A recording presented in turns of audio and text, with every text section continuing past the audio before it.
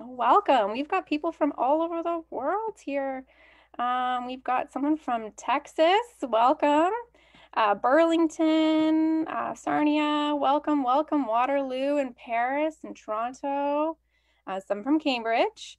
Um, welcome. Welcome, everybody. It's so lovely to, well, kind of somewhat virtually see you here. All right, and I think we are officially live on Facebook. Welcome, my Facebook people. Um, please, we've been asking to see where everybody is from. So if you want, you can leave a Facebook. Comment. Welcome, my Facebook people.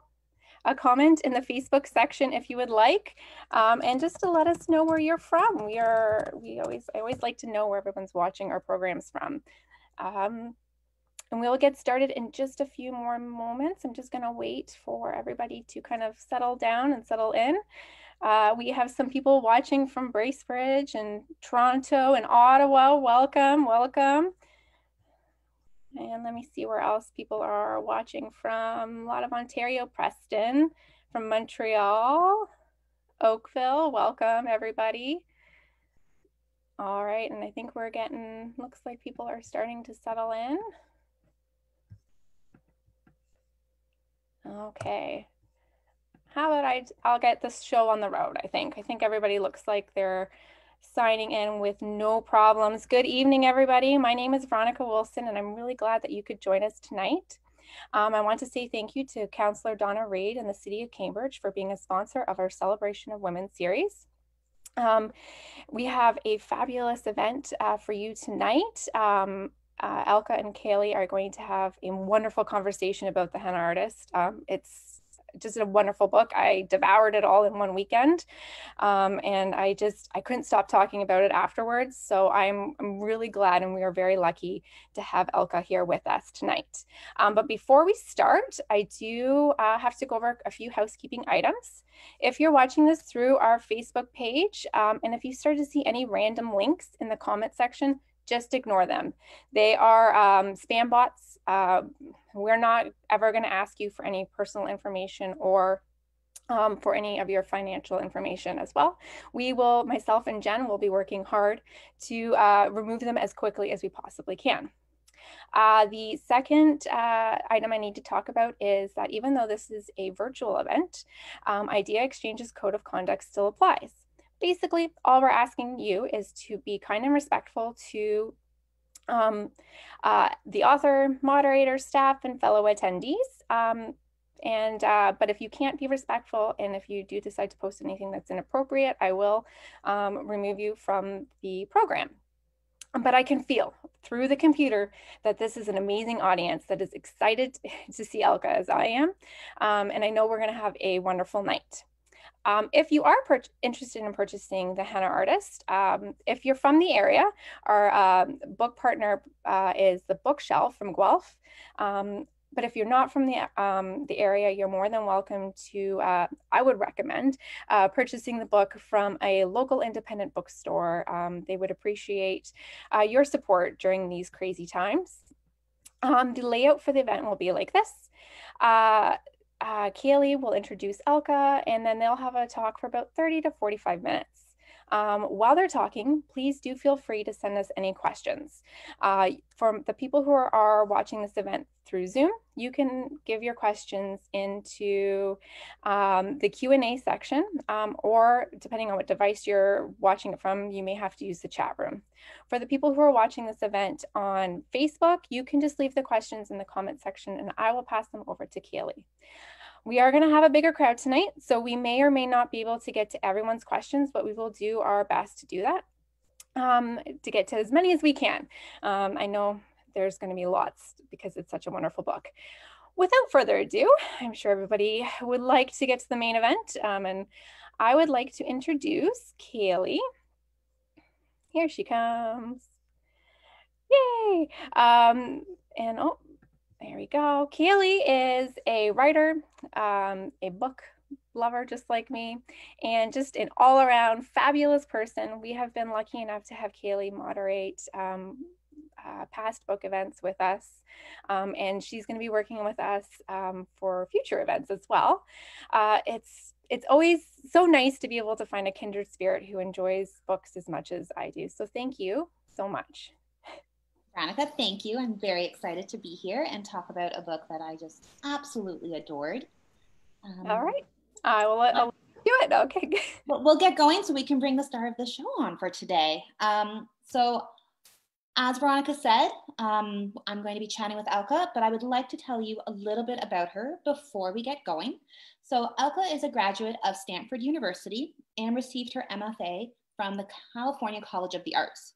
Um, before becoming an author, she has had a career as an advertising copywriter, a marketing consultant, and an illustrator. She was born in India and came over to the US when she was aged nine. Um, and today she lives in beautiful California with her husband and two pups. So, welcome, Alka. Um, I'm very excited to get a chance to talk with you. Thank you for having me today. I just can't help but think that your room is looking so much brighter than mine with the, you know, the beautiful fall darkness that I have right now. yeah, it is. So it's bright and sunny here. Uh, it's only four o'clock in the afternoon, so uh, we still have evening uh, coming on. But I imagine you guys already have your evening uh, upon you. we, we, we have the dark, the, the dark, the sun sets by about seven these days. Wow. Um, now, before I begin, um, as Veronica said, we are going to chat. I have a ton of comments and questions to get to you. Um, but for anyone watching, you've got the book behind you, but I'm just going to hold up this book. So, The Henna Artist um, has kind of taken the book world by storm. You debuted this year, which brand new book, first time author, came out in March, right during the height of the pandemic. And Reese Witherspoon loved it. You were um, her, I believe it was her May book pick. Right. Um, and the henna artist, for anyone who hasn't had a chance to pick this up, let me just say it's a great holiday gift. Um, but it has been on bestseller lists all around the world. And for any of my Canadian um, watchers, Indigo just released their top 10 books of 2020, and The Henna Artist was on it. So, congratulations, Alka. That is, can I just say, what a wonderful success. Thank you. You know, so many readers say, wow, that was like a, an overnight success. But considering the fact that it took me 10 years to put this book together, it feels more like, uh, you know, a 10 year success. it's like, okay, get it out. Let's go on to the next one, I bet. Oh and- yeah. And you know, and you know, the sequel's coming, Kaylee, right? It's coming out in July and it's called The Secret Keeper of Jaipur. And then after that, there will be even a third book. So oh, it'll be a trilogy. That one. That's exciting. So a ton of questions, but I'm going to start with this one. So, how does it feel to have basically a baby that you carried around for a decade? You went, you know, an incredible time birthing this child, um, and she's here. How has your experience been um, with this past year?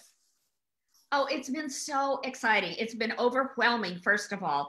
I didn't know at the time that I started writing that I was really writing something that, uh, first of all, it came from my heart because uh, Lakshmi is patterned after my mother. You know, she looks like my mother. She has my mother's resilient spirit. But in addition to that, it is a life that I merely imagined for my mother, a life she could have had where she got to choose her own destiny, where she got to make all the choices that she didn't actually get to make in her real life. Um, and then I realized, wow, I'm also writing a book that has a lot of my personal philosophy and I think my mother's philosophy about women and the choices they get to have or don't get to have in their lives. And then I realized I'm also writing a book that talks about India and the resilience of the Indian people and what was happening in the 1950s uh, after the British left. So uh, it's actually turned out to be a much more multi-layered book than I think it was 10 years ago when I first started, which I think has been that process of the 10 years. That's how, why it took me so long because I wanted to get so many different messages in here and trying not to, um, you know, have one message overtake the other, but trying to incorporate all of that organically into the novel. I think I'm going to give just a really quick summary. Um, we will give no spoilers, I promise. It's it's hard sometimes, but um, just because I think will help everyone with our conversation. But the book follows, I, am going to say she's a young woman because she's 30, um, um, but a young woman who has escaped an arranged marriage, an abusive marriage, and has basically set out to find her own destiny. Mm-hmm. And when we pick up um, Lakshmi's life, it's 13 years later from when she has left her, her situation and she is building this dream life. And she discovers she has a 13 year old sister she's never met. And that's really the inciting incident that changes her whole path and her whole dream. Um, as I was reading it, I couldn't help but think of two things, Alka, and I, I, want us to comment on both of them. One, um, for someone who has been grounded in my, literally in my house for the last six months, um, this felt like a trip. Um, this felt like the best travel I have been on in years. And I wanted to ask you a bit about, you know, clearly there's a lot of work in the sensory aspect of this book. Don't read this book if you're hungry. Um, don't read this book if you're cold. And I just wanted to ask you, like, how how did you layer? You, your your writing reminds me almost of some of the classics that you do reference um, with your your your deep detail mm-hmm. without being over dramatic. And I just wanted to ask you what your process was with that. You know, I love reading books that had a lot of detail in them, that have sensory experiences in them, because first and foremost, I am a writer and I mean, uh, excuse me, I'm an artist. And so, because I'm an artist, I see things in color, I imagine them in my head. I have uh, tremendous dreams. I mean, my dreams are feel so real sometimes. And um, you know, when I imagine a scene, I imagine everybody's clothing. I imagine the colors in the room. I know where everybody is seated. I know what the sofa looks like and what the paintings on the wall looks like.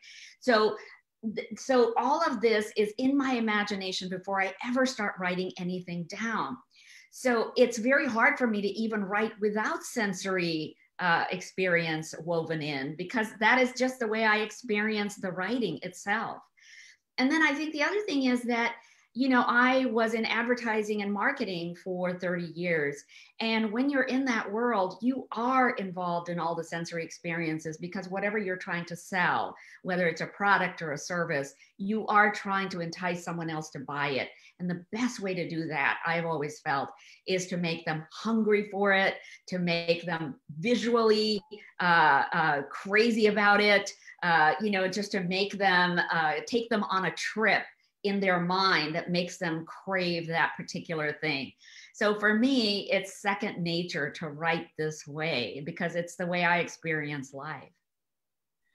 I also couldn't help but when I was reading and researching your book, um, note that you did end up going back to India. Well, first you actually went to India with your mo- with your mother, um, who you've already mentioned um, has been a huge part of this book, and she has since passed before the book was published. Um, but I feel like there's a certain element of her in that story. Obviously, there's a lot, but that these trips became a very important part of the book. Um, was there anything? Obviously, books change from the beginning of our ideas, but was there something something that finally clicked when you started to see this country through your mother's eyes? Um, you know, I think more uh, of what clicked was that what my mother remembered about India was also the same thing I remembered as a child.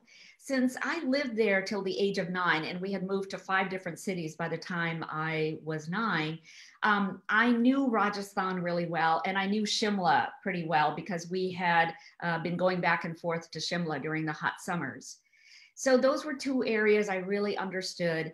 And when I started to talk to my mom about her childhood and what she had read as books and what she had played as games and who her friends had been and you know what grades uh, she liked the best um, when i started to talk to her i thought well this is the india that i remember from the 50s too because i was born in 1958 so i think what it did for me it, it is it kind of dovetailed her experience with my experience and I was suddenly able to explain to people what my India was all about.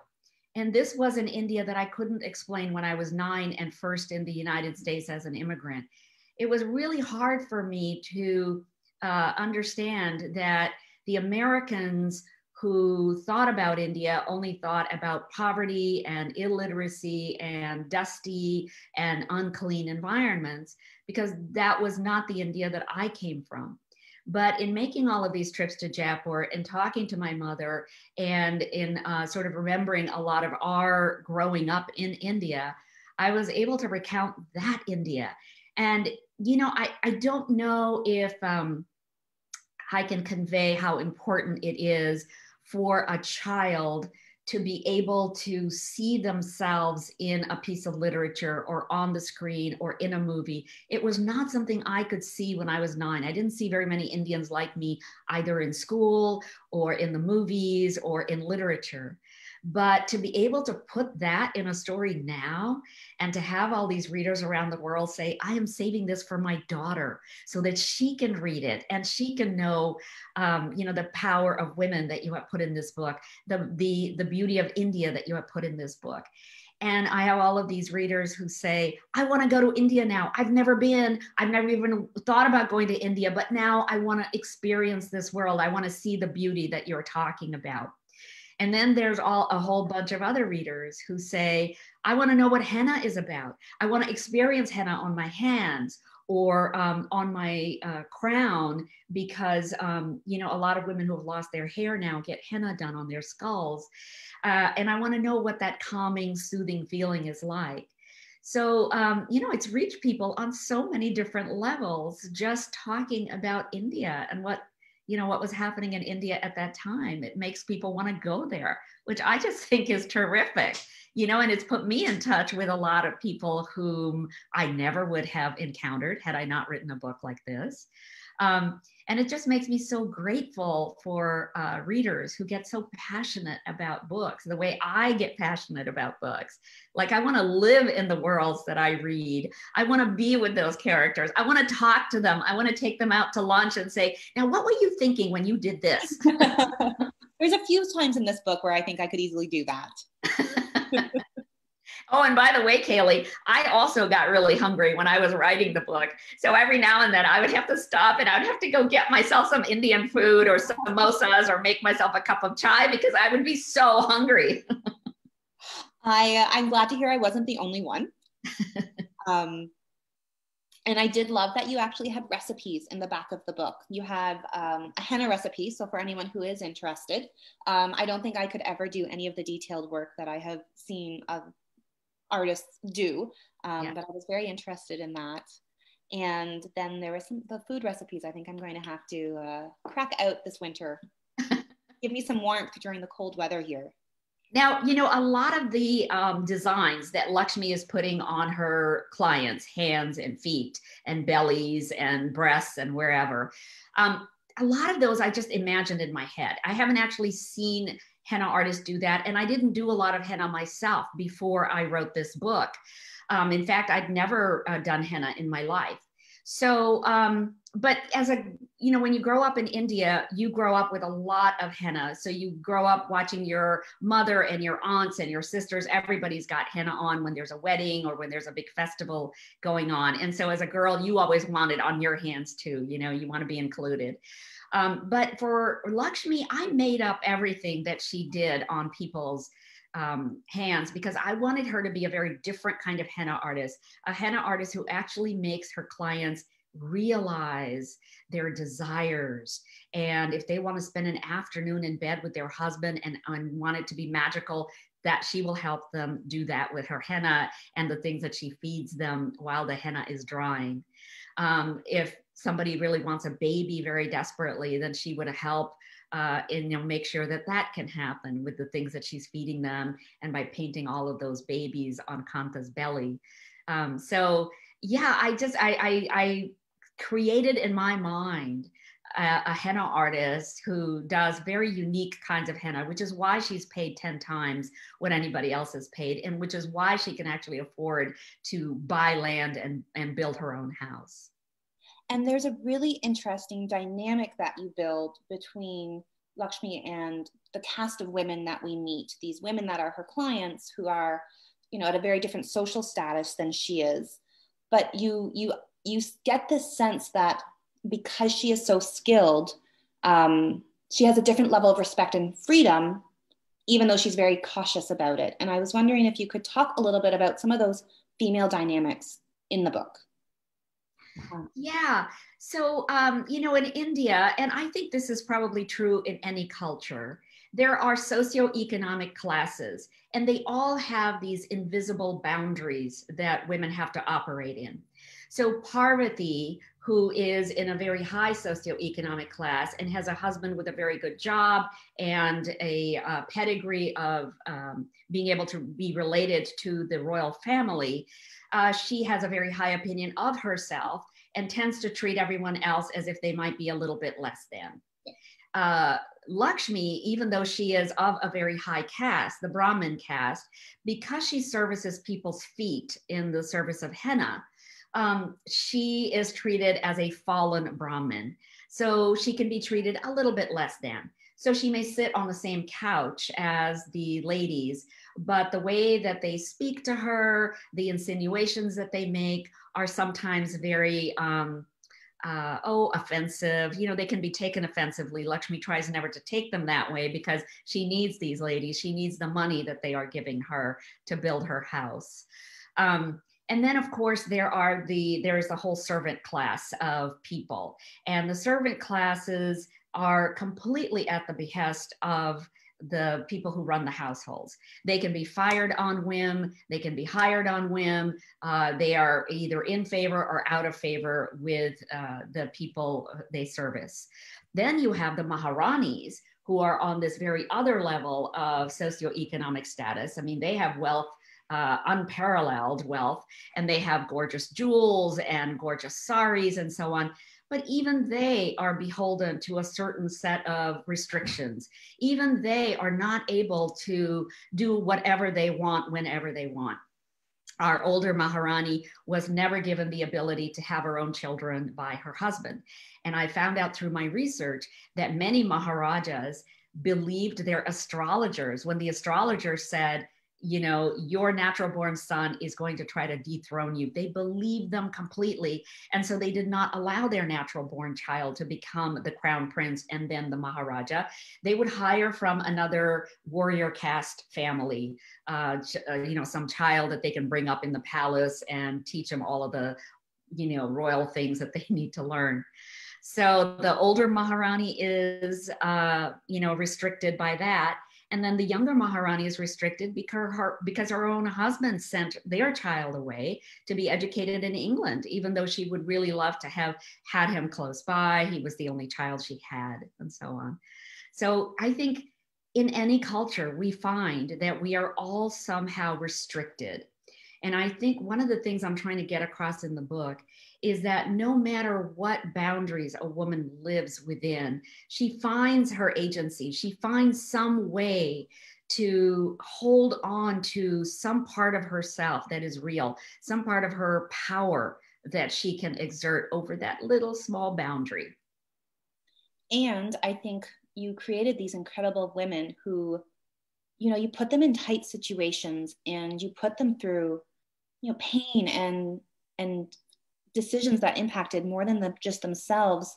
Mm-hmm. and and you pushed them. And i think that was something that i also took away was that you know be, i mean lakshmi really believed in herself. At the end of the day she never lost that faith. And it was i think really inspiring especially even in 2020 to be reminded of that really important idea that a woman still can make her own cast her own fate Oh, yeah.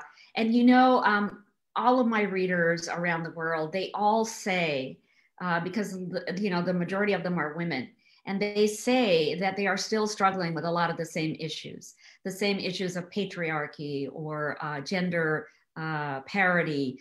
They are still struggling with um, many of those same issues that the women of the henna artist are. And I think that, you know, over time, women take two steps forward and we are made to take a step back. Then two steps forward, then we're made to take a step back.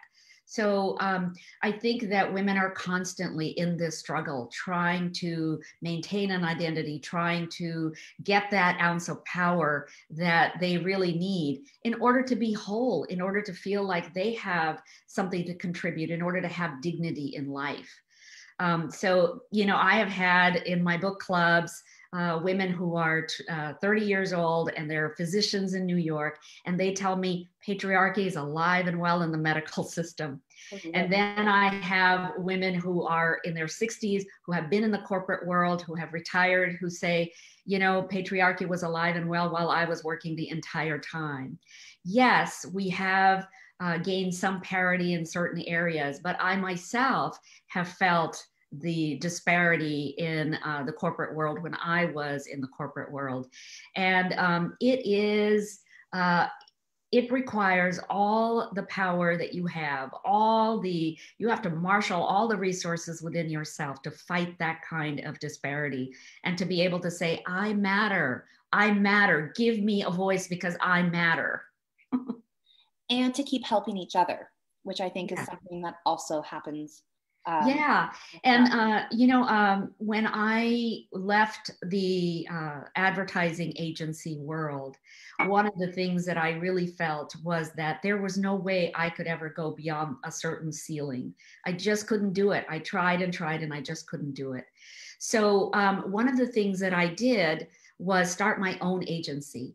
And when I did that, I was empowered to only hire women.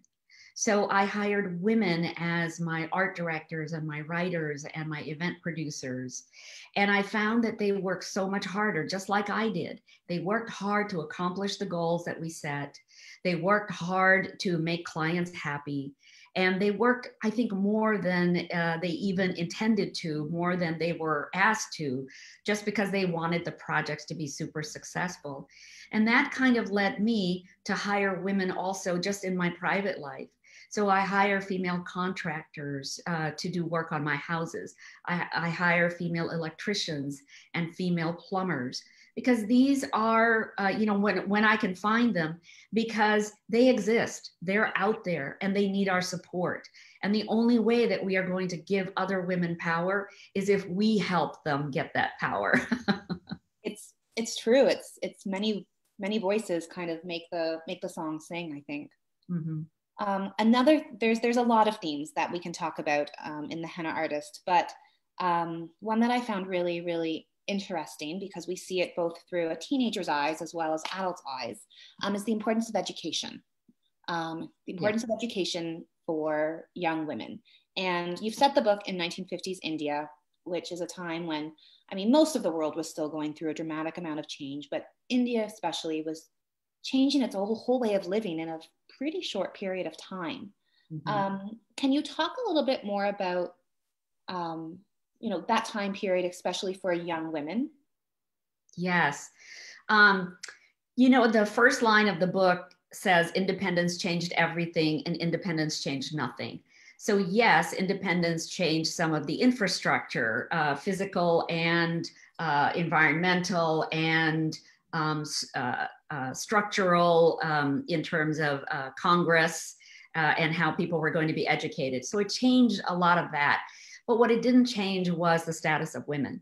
Women were still completely beholden to their husbands, to their fathers, to their children. They really had no uh, equity of their own. You know, whatever they fought for, they had to scramble to get. So um, I think it hasn't changed that much for women, uh, but it depends on how much education they have. So, all throughout my life, my father has been a huge stressor of education. And it is education that makes the difference between a girl who gets to have some sort of agency in her life and a, and a girl who doesn't. Um, and in India, the middle class has grown a lot. So, middle class parents are able to send their girls to college which has been a huge boon for those girls. Not only are those girls getting a voice, they're learning how to talk about themselves, to ask for their own, uh, you know, gender parity in all kinds of situations. They are fighting for the rights of women everywhere all over India. They're fighting for LGBTQ rights. Um, so eh, they're fighting for the rights of village girls also to get educated. So this is making a big difference. These middle class girls who are now able to go to college and get higher educations, they're able to get their BAs and their MAs and their PhDs. And they in turn are helping the women behind them. In the lower socioeconomic classes, however, if a girl does not get to go to, uh, does not even get to finish middle school or high school, then she has very little chance of changing her life. She is going to be married at an early age to get her away from the breakfast table. Um, and she is going to be um, having children at an early age. And so then once again, that cycle will start where she will be at the behest of her, uh, first her father, and then her husband, and then her children, and with very little to say about herself.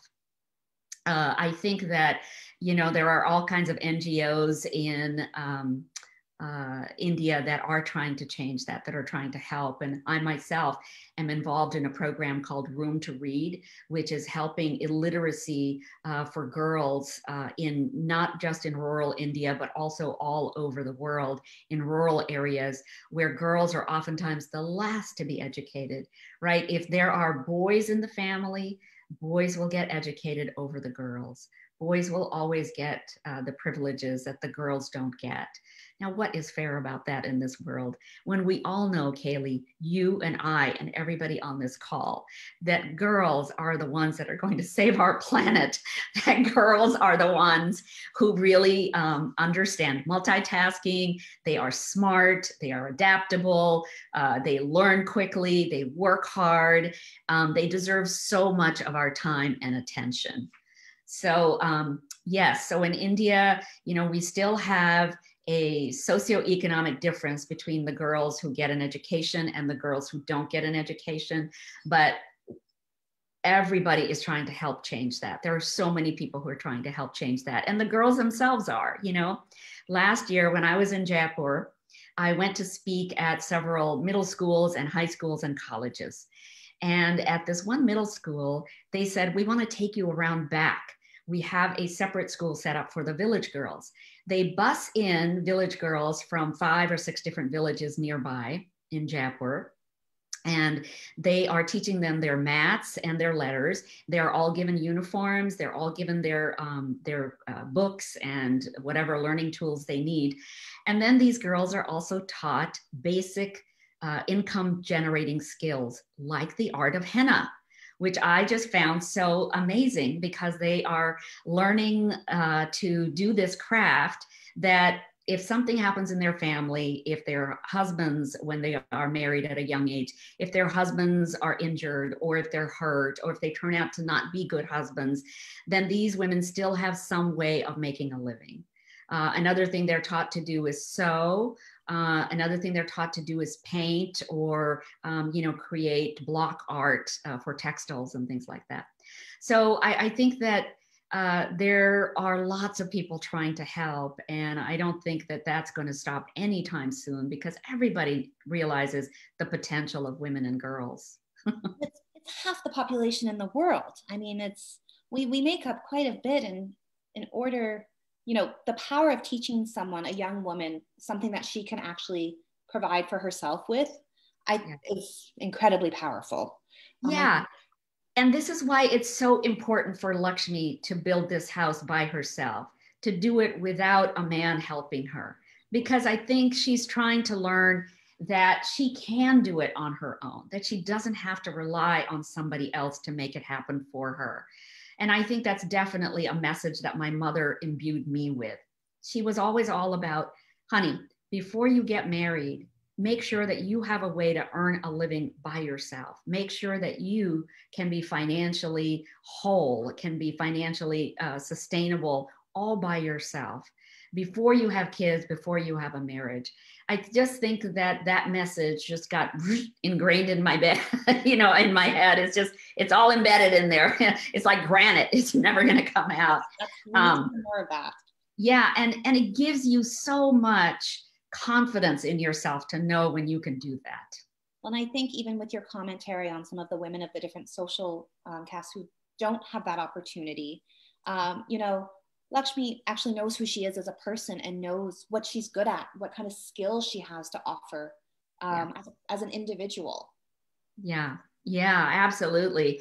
You know, I, I remember, you know, in, in the in the working world, I often felt uh, so discouraged, so dis- disheartened uh, by people who's, who kind of said, "Oh, you don't know how to do that," or "You're too ambitious. Uh, why why do you keep asking for more money when you know you don't deserve it?" Uh, or you know uh, that one too yeah you know you you you probably can't handle this really important project so we're just going to give it to the guys in the next office you know, there's a lot of that that happens. And um, I think what I'm trying to say through Lakshmi's journey is she also runs into a lot of obstacles. She runs into a lot of people who do not believe in her. She runs into people who are eager to put her down for whatever reason, just to make themselves feel better or because they feel they can. Uh, you know, who knows what are all the reasons why somebody does that to us. But in the end, I wanted her to succeed. I wanted her to be able to um, say, I believed in myself and I made this happen. But then also to be able to walk away from that kind of success because monetary success is not the only kind of success in our world. And I think for Lakshmi, it's knowing she's strong enough to build herself up again, yeah. but also something that we haven't talked about and I, i'm looking at the time we have about five minutes left of chatting and then i'll open us up to um, questions. And I do want to ask about your writing process and the next books. Okay. But the one thing that you really brought out with her um, was family, was her found family. Um, and I think um, I think that's something that we can talk about a lot, even in today's world. That many of us are lucky to have have the family we're born into. Some of us don't want to be in the families we're born into. but that there is something very strong about those friends and people that you gather through your life that you yeah. build your own fa- found family with. Yeah. Um, and I just wanted to, I guess this is more of a statement, but just how you've ended the henna artist with her together with her motley crew, including a parrot, um, of her found family. I thought was really, really touching because it showed the new the new circle she had started. I think. Right you know, Lakshmi uh, doesn't want children in the same way that I've, you know, never wanted children. But it doesn't mean that women who don't want children can't be nurturing or that they can't be loving towards people or that they can't create their own families. I think there are so many different definitions of family. And the definition I'm creating here is one that includes blood and uh, friendship. And I think that we do it throughout our lives. I think we forget that we do this all the time and we do it very naturally. We form families wherever we live wherever we move to uh, wherever we go to school. And um, these are very important relationships in our lives and these are all people that we help along the way. We don't always stay in touch with people in our lives, right? But for the period of time that we are with them, they are our family. They are propping us up when we are down. We are propping them up when they are down. We are helping them through tough situations, and they're doing likewise for us. So um, I really wanted to pay homage to that kind of friendship, to that kind of family that we all do create, uh, and kind of give kudos to us as human beings for doing that. And I think as someone who is also single and has chosen not to have children, it's that idea that you can have those valuable, strong relationships without threatening other women either. Yeah, absolutely. Yeah. I think that, you know, as women, and I tried to show so many different kinds of women in the henna artist women who absolutely want children, women who don't want children, women who want a career, women who really love being at home and uh, being a homemaker. Uh, we have so many different kinds of women in this world, and we all deserve a seat at the table, and we all deserve to support each other. Uh, and I'm trying to show also in the novel that there are so many women who do support um, their friends, support the other women in their lives. Uh, there are men who support us in our lives. And then, you know, there are men who don't. Uh, so just like in real life, I've tried to make these characters with their strengths, their weaknesses, their good points, and their bad points, uh, because none of us is perfect, right, Kaylee? Nobody's perfect. And um, to have a novel where everybody's perfect would just be boring because that just isn't real life. Real life is filled with a lot of uh, crazy stuff that goes on, uh, challenges that we face every day, conflicts with other people. And I wanted to imbue the novel with all of that reality as well. But then I wanted to leave on a hopeful note because I think that one of my charters as an author is to provide hope to people, to say that no matter what you've been through, life does get better. No matter what you've been through, you can change yourself into something else that is more positive, that is going to stand you in good stead. I think it's always possible. I mean, look at me, I'm 62 years old. I never knew I would write one novel, much less a trilogy, much less be involved in a TV production. Uh, so, you know, I I, I think that at any age of my life, I have had a chance to reinvent myself and I have gone into it because why not? There's nobody stopping us from doing that. So uh, I think that it is possible for everybody out there who's listening to also reinvent their lives, to find that hope uh, for their future that I think Lakshmi does. I think you, you just answered one of my questions about um, you know what what kind of advice do you have to writers um, who are who are trying to to get their manuscripts done and published? Um, there's a sense sometimes in the writing world that you have to be young and firing you have to get your first public book published before you're 30 or else you're you know, you're never going to be that success. And you know, you know, those, you know, I have to laugh every time I see those articles, which oh. says, you know, 30 under 30 and 10 under 40, as if somehow uh, being able to make it uh, when you're young is a hallmark of huge success. Well, frankly, I think it's kind of terrifying to have a success really early in life because what are you going to follow it up with? There are so many of those stars that fizzle out because they can't um, because they can't follow it up with something fabulous right and so i think that it's perfectly okay to take your time and to uh, let your maturity get to the point where you feel like you should be creating something uh, in book form, in painting form, in film form, whatever it is you want to do. Uh, you know, our world now allows us to do things like that at any age. I want to. I want like a top fifty over fifty of people who are doing yes. neat things.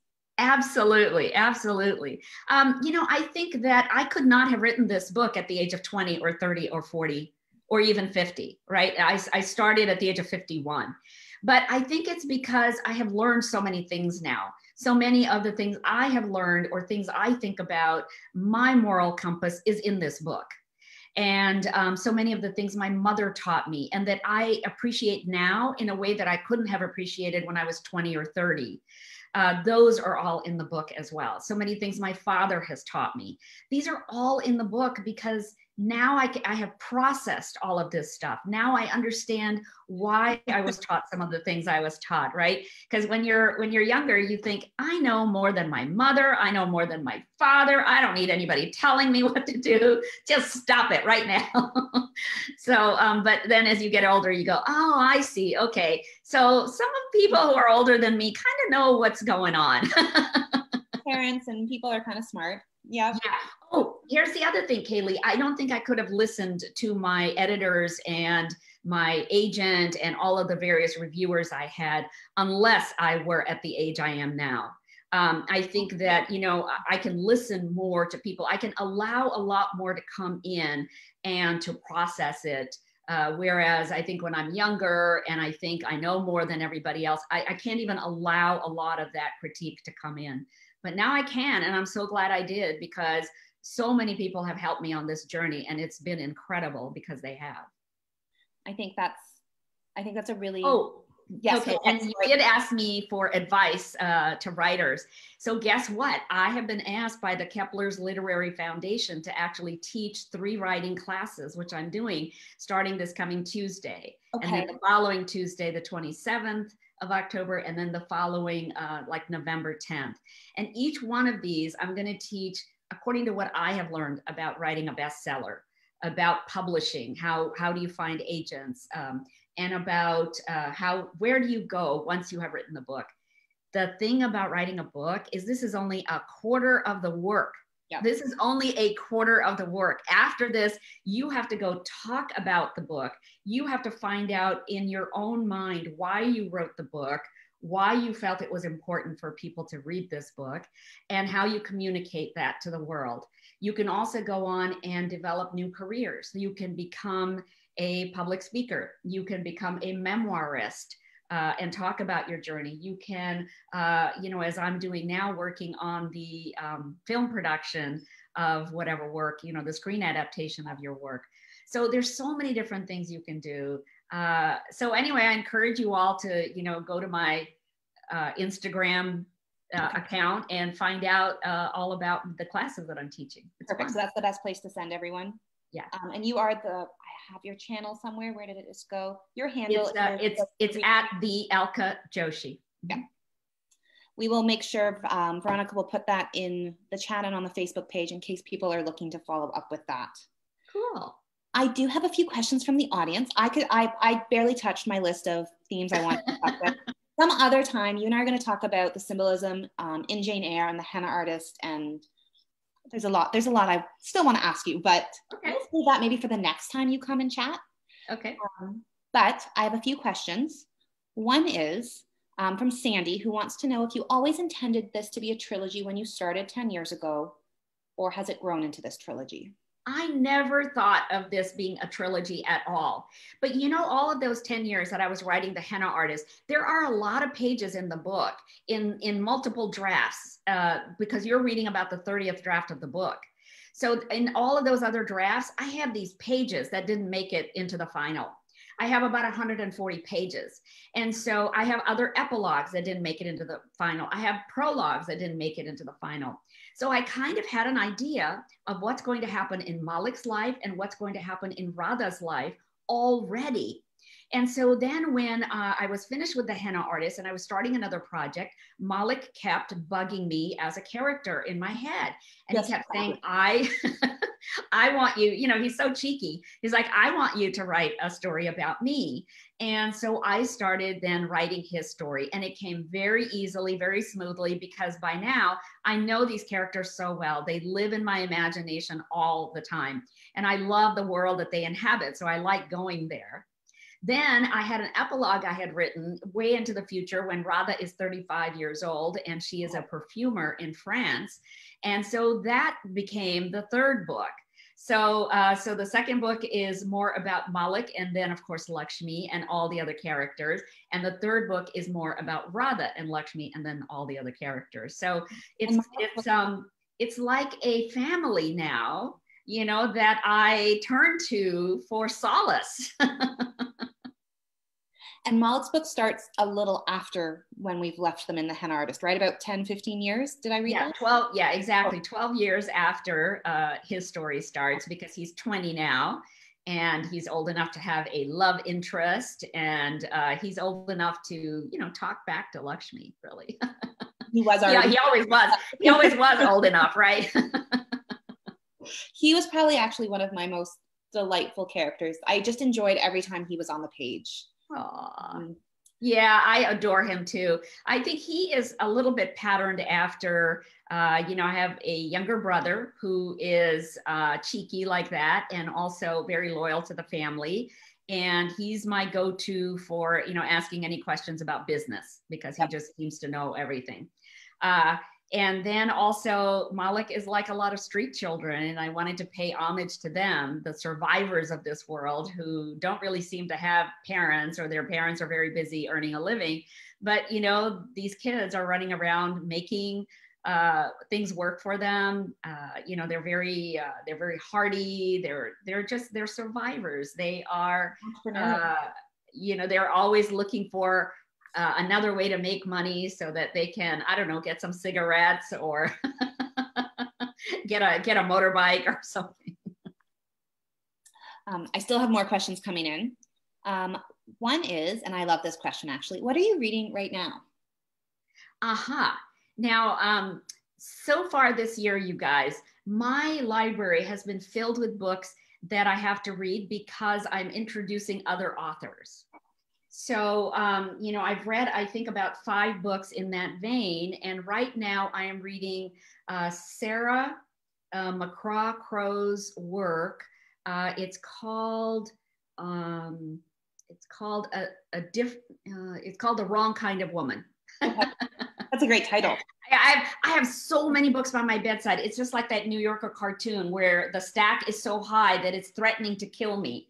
You know, one of these days, I will not be on a Zoom call, you guys. And if I'm not on your Zoom call, it's because the books have crushed me to death. oh, I love that. I love that a lot, actually. I sometimes worry about that in my own house. and you know, and you know, okay, so here's and here's what I do to relax. Here is oh, uh, and I also just read uh, Min Jin Lee's. Uh, no, no, no. Um, last year I read Min Jin Lee's Pachinko, which I absolutely adored. Uh, you know, it's the story about the South Koreans coming to Japan. Um, and it was like a saga of four generations. And I love those kind of things because I can get so involved, and I, you know, it's it's it's uh, I'm just in that world for so long. Um, but the thing I do to de-stress, to to decompress from all the writing and the reading that I have to do, I watch police procedurals. I watch CSI. I, watch anything having to do with, um, you know, uh, murder mysteries. Uh, I, I don't like gore. I don't like blood, but I like uh, like the the the who done it part of it. You know, um, so that is uh, a lot of fun. And I must say, the Canadians are coming out with some really good uh, murder mysteries. Um, I think wasn't the killing out of um, Canada. I'm I'm I, I, I, don't know, maybe, maybe I'm, uh, I'm misunderstanding, but, um, you know, that was a great series uh, that I got a chance to see. But so I love bingeable series. Yep. I always tell myself, Kaylee, I'm going to watch one. I'm going to watch two tonight. And I end up watching like four because I cannot help myself. I am addicted to bingeable series.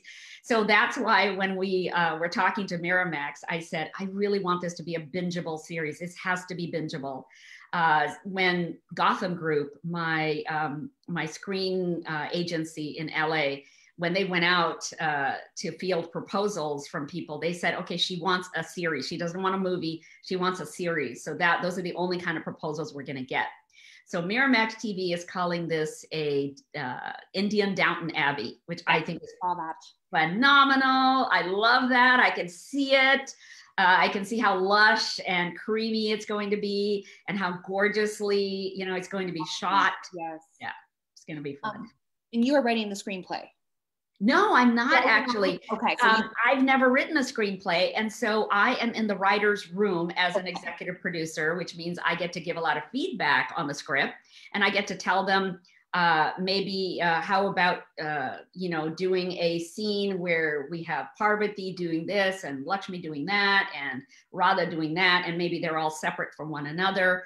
Um, so I get to suggest scenes that might be filler scenes in between uh, some key uh, things that are going on because I think to do a six to eight episode series, they're going to need a little more content uh, and they're going to have to give Freida Pinto a break because she is not only starring as Lakshmi, and you know, since this is first person, every single scene has Lakshmi in it. Uh, but she's also an executive producer, Freida is. And so they said, let's not kill Freida by having her on every single scene. let's be what you want known for. yeah, absolutely. Uh, I cannot wait to watch it. Cool. And uh, so, what are some of your other uh, questions that you didn't get get to? we, we actually still have a couple from our Q&A. Um, one of them is actually just a statement, and it is someone who is commenting on when Lakshmi realized that she was, what she was doing was making women feel better, but that what she wanted to do was make them better, um, which is really what she was trained to do. And hmm. I did want to bring that up because I thought that was a really interesting statement because you, you slip it in at the end of the novel, and it's part of her kind of her whole circle, her realization of what she's moving towards. Um, but it's a really poignant statement, I think, about the role of women helping each other. Um, what you know what this is one of those great examples when uh, a reader gives me an insight into the book that I myself had not had. I love that making them uh, feel better versus. Tell me that again, please, Kelly. Um, actually, making them better making them better. Okay, wow. Which is definitely oh. that, you know, she she she goes from pampering and beautifying these women yeah. and still helping them feel better, but really where her path is taking her is through that that healing and that medicine and that other part of her um, where she's actually going to change people's lives at a very physical level Yeah. And isn't that kind of what we all want? We all want to be helpful to people. We all want to help them in some way. Uh, we we want you know when people come to us for advice or they want us uh, to service them in some way that that they know we can do, like whether it's uh, doing their hair or whether it's helping them with an essay or you know helping them fix their car. Um, I, I, think we all we all want to rise to that occasion. We all want to help other people uh, get better and stronger and smarter and all of that. And so, yeah, I what a great observation she has made. Earlier, they were uh, Lakshmi was making women feel better, but now she just wants to make them better. I love that. And you know, she's always trying to do that with Radha she's always trying to make Radha a better person, and she's always trying to make Malik a better person. And the same thing with uh, Kanta. You know, she wants to make things okay for Kanta too. I think I have time for one last question, um, and it is about your process. So I'm thinking um, ten years for one book. In the next couple years, you've got two books coming out. Mm-hmm. How do you write a story? Are you a plotter? Do you have everything down in cue cards? What is, what is your process like? My process is like stringing a necklace. I start with a scene, and in the scene, I have characters, and they are doing things in that scene. And I visualize it in my head. I work all the way through it in my head. I even work the dialogue in my head first, and then I start writing it down on my computer. Then I will work like I'll imagine another scene and then I will work on who are the characters in that scene. What is happening in that scene? Why is it important to even have that scene?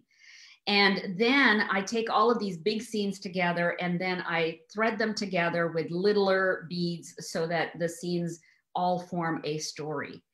And I think through that process and going through that process over and over and over again, I understand what the story is about. So, no, I don't start out at the beginning knowing what the story is all about. And, um, you know, I know John Irving does that. He says he starts with the last line of the story and he knows what the story is going to be about. I am not John Irving. I am not that kind of writer. I am more of an organic writer. And I like feeling my way through the story because it surprises me too. I don't know what's going to happen. I didn't, you know, okay, I, I can't, I can't do spoilers. So, so uh, I'm not going to go there, but I didn't know that some of the characters were going to end up surprising us in the way that they have. Even I was surprised. Even I was like, Geeta, where did she come from? Wow.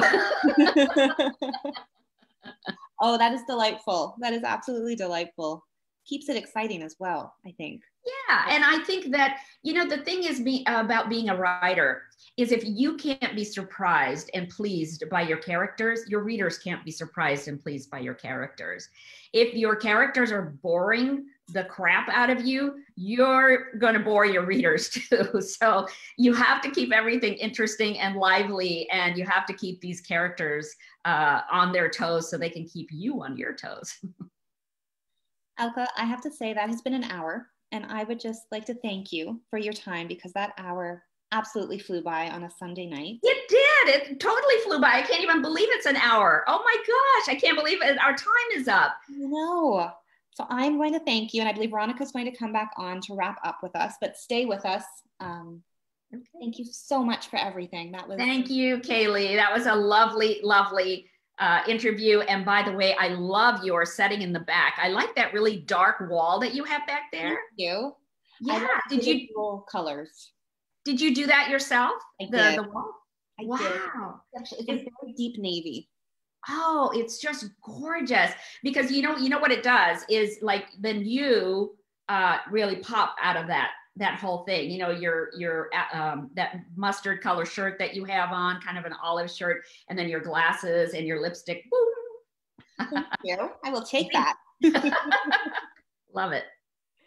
Oh, well thank you both. I uh what an amazing night like kaylee said. I can't i can't believe it's it's eight o'clock. I uh I uh, this is I think this is one of the reasons why I love author events so much because it's just you get sucked in so easily into the conversation into the world just like as if you're reading a book i with your book i i was going to read just the first page because i had like two other books started And next thing I knew, like it was Sunday and your book was done. oh my God. So, so you're a, you're a binge worthy person also. I, you know, I think I think we need to start a binge club because there's so many of us who just love to binge. I've had uh, many, many, many book hangovers, as I like to call them, where I feel like a zombie after, and I realize that the world has carried on even after I've read this amazing book, and then I'm I'm out telling everyone that they need to read this amazing book. Yeah. oh, that's so fantastic. I want to thank all the readers out there. Wow. I just cannot believe that, you know, so many people are loving it. And also, I encourage everybody to always um, chat with me. Uh, you can DM me on my Instagram. You can uh, contact me through my website, thehennaartist.com. You can, uh, in the back of the book, there are different ways to get a hold of me, and people do. And uh, I love to hear from readers. So you want to call me? You what? You have a question for me? I'm there. awesome. That's great. Oh, and I got to tell you, I have done over 200 book clubs, which is really great because you guys not only is this allowing me to talk to readers, but it's allowing them also to have contact with somebody outside of their personal sphere and I think right now it's so important. Like I feel every time I have a book club, I feel like I have a whole new set of friends now I just made around the world. Um, and and and it's you know it's so priceless during this time when we're all kind of locked down. But someday soon we'll get to go somewhere special. I know. one of the one of the perks of you know virtual is that we are able to actually have you come and be a part of our you know yeah.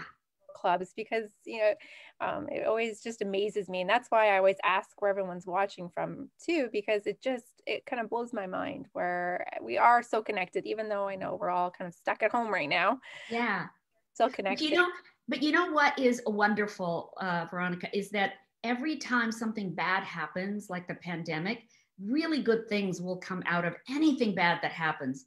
Even when you lose a job the possibility of doing something new happens you know and and all of a sudden you're you're onto another path. With the pandemic now we are also used to zoom events that we can talk to people all around the world and feel really comfortable in this format and we don't even have to schlep suitcases around you know so although it might be nice to take a trip every now and then being your bed at night is lovely yeah i uh, agree. I agree. It's uh, it's awesome, I, and I just I want to thank you, and I want to thank the audience for you know being a part of this event, and um, my two colleagues that you can't see right now, everybody, Gabrielle and Jen, who have been uh, wonderful um, and helping me uh, work in the background. Uh, and I would like to thank Cindy from HarperCollins Canada, who is just a dear and a yay, Cindy. uh, she's just a wonderful. And if it wasn't for HarperCollins uh, Canada and, and just all the publishers, uh, publishing houses for just being so wonderful and supporting us, the libraries and whatnot, we wouldn't be able to do these events. So thank you. Um, and I do want to know because this audience, I think, will appreciate this event that we have coming up. It's a Tea Time with History, um, and it's an author event with uh, Jennifer Roberts. Robson, uh, Kristen Harmel, and Daniel R. Graham. That event's happening on Sunday, November the 8th at 2 p.m. So that's a historical fiction um, panel. So, and Kaylee, she's on this side for me. I don't know where she is, everybody else, but she will be leading that discussion. So if you loved listening to her um, lead the uh, talk, then you will definitely enjoy this uh, event. So thank you everybody and have a great night and or great day depending on where you're watching from. Uh, and we will see you uh, next time. Bye everybody. Thank Bye. you. Good night.